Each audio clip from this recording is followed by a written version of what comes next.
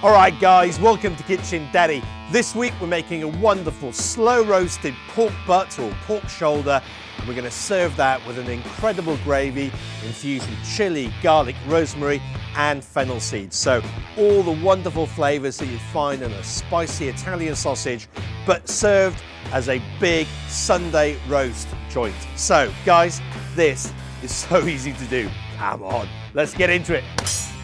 Right, to kick things off, let's grab our pork butt. And guys, if you're thinking pork butt, mm, no, no, no, shoulder.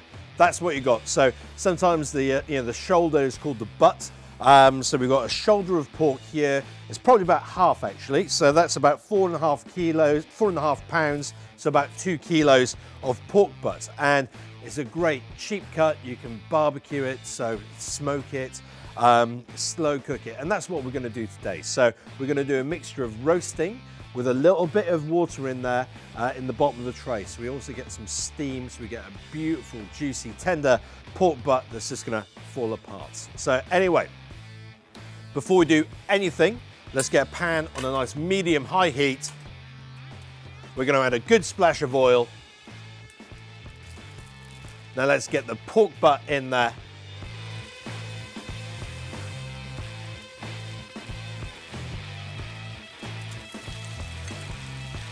We want to add a good pinch of salt.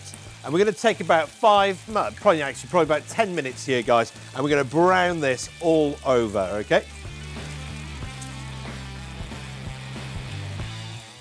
Now to help that along, let's just add in a knob of butter as well.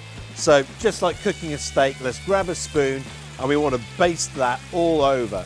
And guys, what we're looking to do is just render out some of that fat on the top of it um, and we just want to get a lovely, good brown colour all over this pork butt.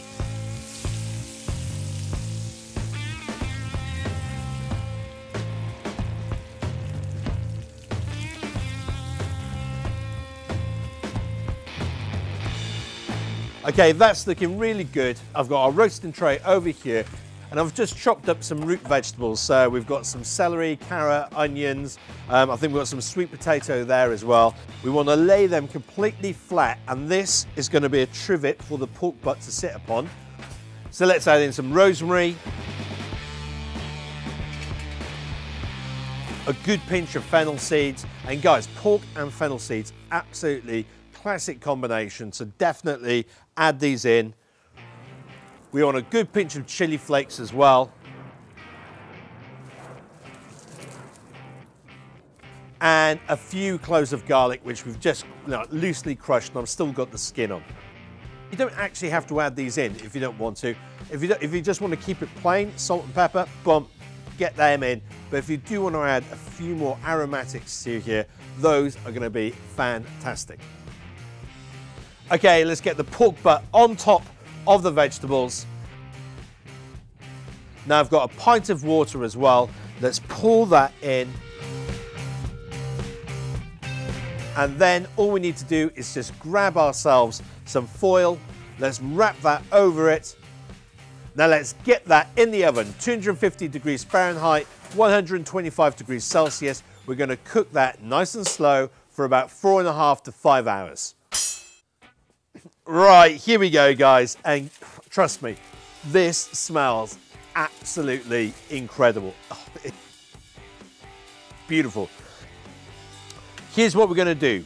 I've got a frying pan on here. Let's get the pork butts in there.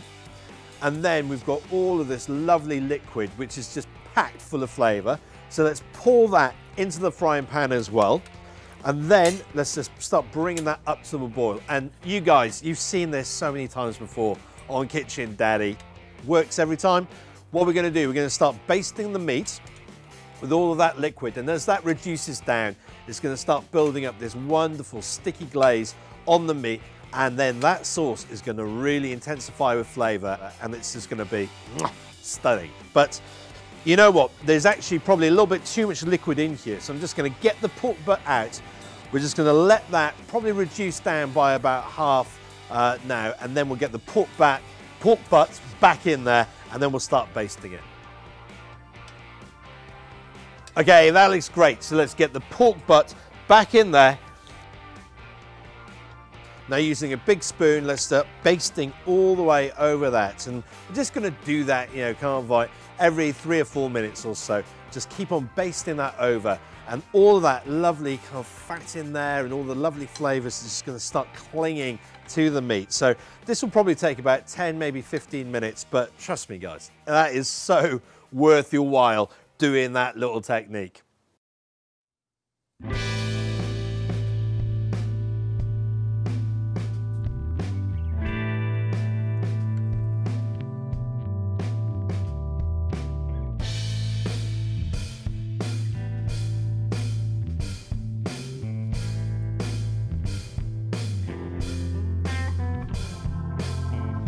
Right guys, look at this and I can tell you now, this is spectacular. It really is.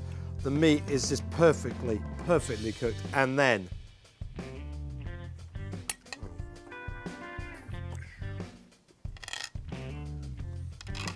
oh man. I've got to be really careful. I've got an umbrella over there precariously balanced. Oh, whoa, hang on one second, guys. It's gonna fall out. Okay, we're back. And we're gonna do this really, really quick so uh, the wind doesn't take the umbrella and fall on the camera over there. So, long and short of this, guys, that tastes absolutely amazing. And that gravy is sensational. Honestly, sensational. It's almost, uh, it's really hard to describe because you've got that lovely kind of like fennelly flavor, but so you've got the aniseed coming through, and then you've just got this lovely bit of chili as well. Absolutely knockout. And where it's kind of like caramelized, and uh, not caramelized, but where it's thickened up. Oh my God. It's like boom, smacks you in the chops. So good. Right. Before that goes, thumbs up, get in the comments, check out the new website. And, um, oh no, hold off. I'm updating the website. Don't check out the website just yet. Get in the comments, give us a thumbs up. Good to be back outside doing some proper cooking. See you next week, guys. Bye.